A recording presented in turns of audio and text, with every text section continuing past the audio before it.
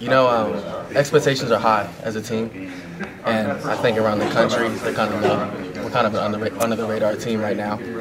Um, but I believe in us, and with this new staff, I think you know they back us up, you know, more than anybody. So I think they have confidence, we have confidence, and we're just ready to roll, get this thing started. What are some of the new things that Mazey's bringing to the table that maybe you didn't have in years past?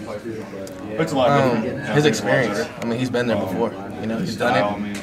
He's almost like a father to us, you know, father figure. You know, he cares for us and things like that. Um, but his experience is a big thing, and we all trust him. And I think that's one of the major parts of this team that I, you know, that I like, that I'm seeing, you know, a difference in. So.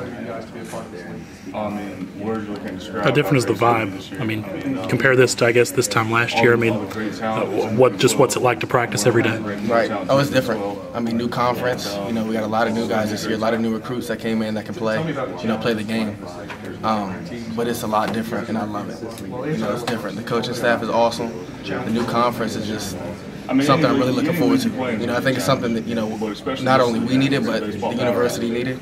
And I, you know, I'm looking for you know a big step up in, in baseball here at WVU. Hopefully, not just this year, but years to come. Are you expecting it to be maybe even harder with going into this new conference and having so many games at home and still hours away from Morgantown? Right. We only play eight eight games here in Morgantown. You know, which is a challenge as well. But I mean, we're up to it. You know, it's not something negative that we look at like, oh man, we got to travel. It's kind of something you know we prepare for and we're ready for it. We know what's coming at us, and uh, you know, like I said before, the coaching staff has really you know prepared us the right way to, to get ready for things like that because it's going to be tough. It's not going to be easy at all. But I think you know we can do it. But I mean, you just gotta. How much better do you think the talent of this new recruiting class is going to make the uh, team better overall? Right. Uh, we're like the foundation. Um, you know, this is this is the first year the new coaches came in, so you know we got to start it off right. But these new recruits that they brought in, you know, they can play. They're from around you know the entire country, a lot from down south, and you know baseball's you know a big a big game down there. You know, the big time recruits come out of there, and uh, you know we have talent. The new guys that came in, they got talent. You know, we'll be a good team for sure. There's no there's no doubt about that. We have talent, but we just you know got to put it together. Is there anything strategy-wise you have seen on film from the uh, Big 12 teams that Big East teams do differently? Uh, not really.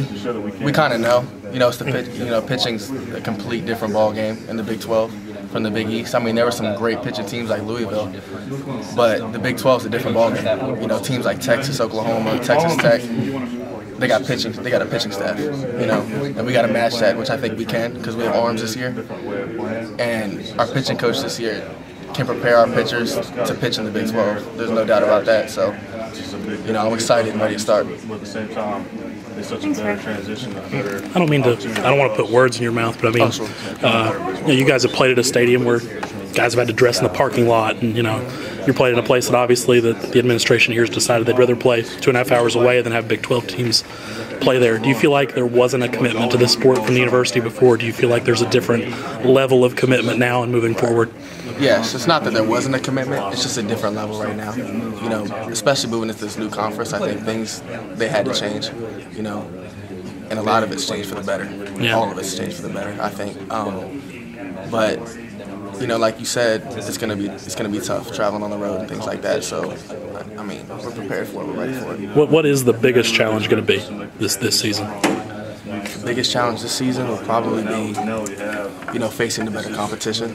Traveling, I mean, traveling on the road is always difficult. I kind of like, you know, playing on the road. Honestly, you know, the crowds against us.